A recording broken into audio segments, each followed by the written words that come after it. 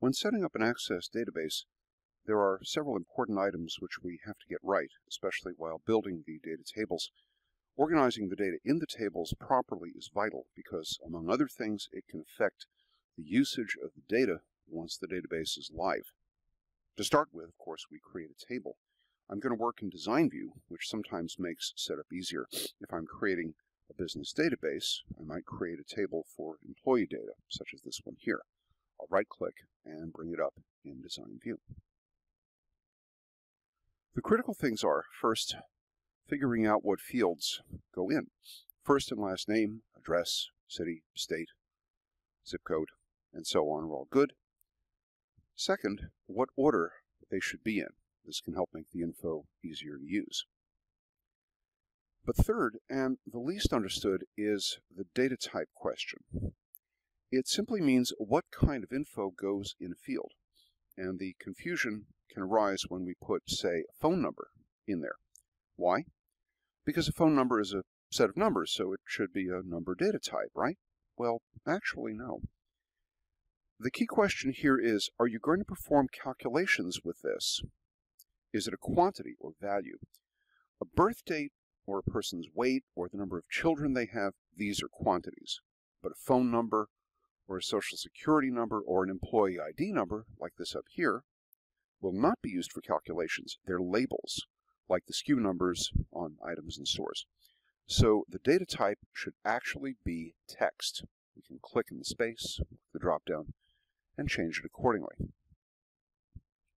This has a couple of advantages. It can't be mistaken for a quantity type item by the database, and it saves space in the data table numbers can require more space if we don't set them as integer, for instance. Have to allow for the decimal places, you see.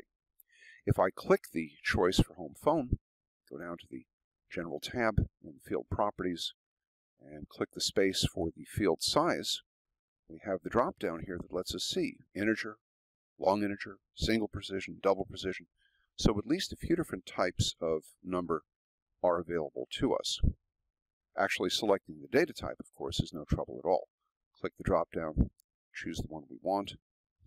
And in this case, again, text, because the home phone is not a quantity, we're simply going to dial the digits. It is the equivalent of an ID number. If, on the other hand, we uh, have a field we want to use for non-standard things, like the tax status here, we can use the lookup wizard to specify what should go into that field. Click the data type space, click the drop down, Click on Lookup Wizard at the very bottom. Up pops the dialog box. We click the button for I will type in the values that I want. Click Next at the bottom. Since a person normally can have only one of two kinds of status on this, one would be exempt and the other non-exempt, I simply go ahead and type them in here. Then click Next at the bottom of that. We can choose to limit entries to the choices we put in, which in this case is pretty logical. We can also choose to allow or not allow multiple values. In this case, that would not be good. A person can't be both exempt and non-exempt at the same time, so we leave that off. Click on Finish. The drop-down defaults in most cases to text, but if we were to click the Lookup tab in the field Properties and glance down in the row source space here, we could see we have the choice of exempt or non-exempt just as we typed it in. We would then, of course, save what we were working on.